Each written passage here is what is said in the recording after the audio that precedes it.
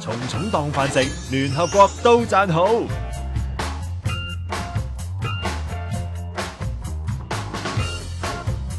哇，哥仔，你真识食啦！联合国粮食及农业组织早前发表报告。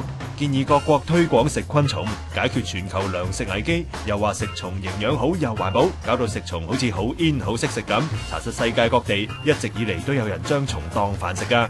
先讲我哋中国大陆啊，可以食用嘅昆虫超过一百种，好似云南人中意食蚂蚁，湖南湘西一带中意食炒蜂巢，广东广西多池塘啲人就中意食龙虱，话味道似火腿。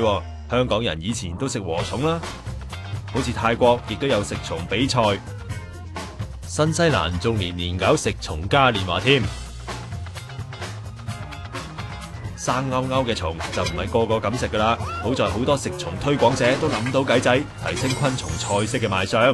日本有位料理师傅内山超一自创咗精美嘅虫虫料理，呢啲虫虫寿司系咪睇见都流晒口水呢？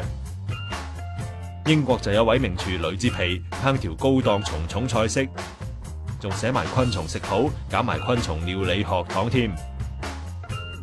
查实食虫呢家嘢都唔系而家先兴嘅，有历史学家研究，早喺四世纪古希腊人已经会食虫蛹，甚至会用虫嚟整饼食。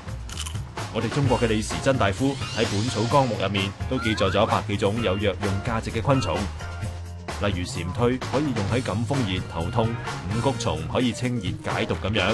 不过食还食都唔好乱嚟。早排美国就有位食虫王喺比赛入面一口气怒吞咗百几只曱甴，点知顶唔顺，最终搞出人命咯。所以奉劝各位食家，虫虫始终有机会带有细菌同寄生虫嘅，食之前一定要了解虫虫来源、卫生程度，同埋最好煮熟先食。食咩都好，最好适可而止啦。